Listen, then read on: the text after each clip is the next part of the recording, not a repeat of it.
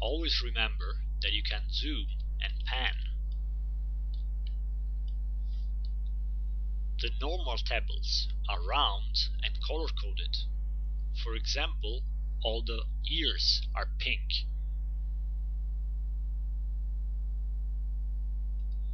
The square tabbles are special. They are assigned automatically based on the file type.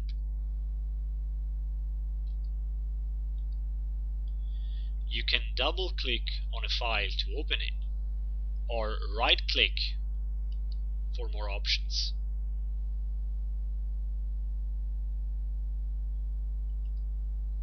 You can visualize the files in a more compact way using the File menu.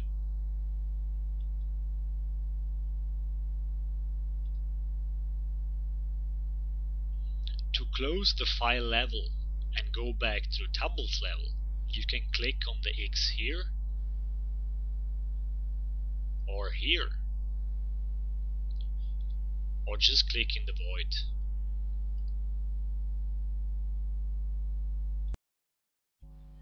Now let's have a look at the combine feature.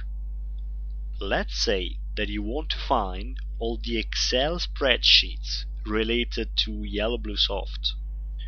What you do is you select the square tabble for the Excel spreadsheets, the XLS which is inside the file types category.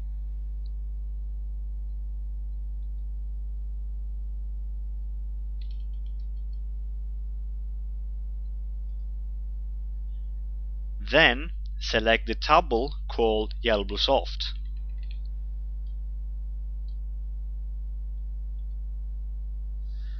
Now you can right click on any of the selected tabbles and choose combine the two tabbles or you can use the combine button on the direct manipulation tool up here.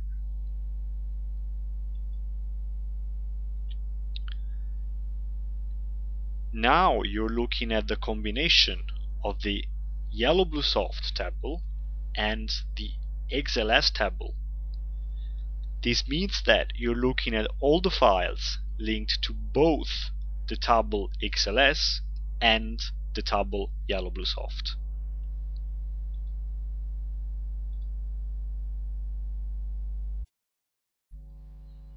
On the right side of the window we have the suggested tabbles list. You can add any of these tabbles to the combination to further refine your search. Let's say that you want to see all the Excel spreadsheets related to YellowBlueSoft and to the year 2009. In order to combine the tabble 2009 with the tabbles YellowBlueSoft and XLS, you can right click and select combine this tabble with those already open or using the combine button on the direct manipulation tool or select the tabble and click on the combine button up here. You're now viewing the files in tabbles 2009, YellowBlueSoft, and whose extension is XLS.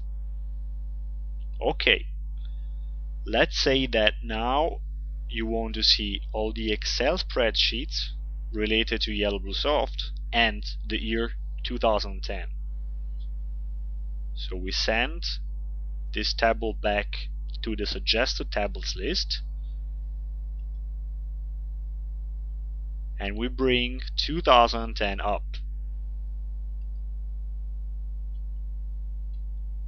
Here we go.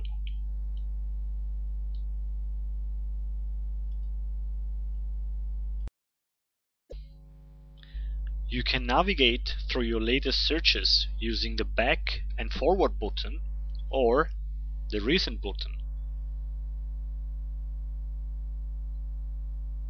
Let's try.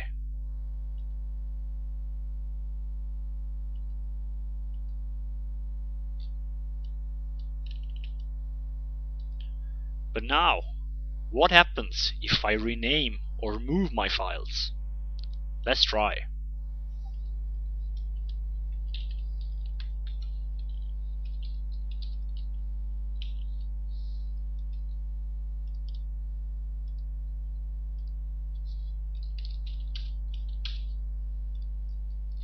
I now renamed the file and moved it. Let's go back to where we were before.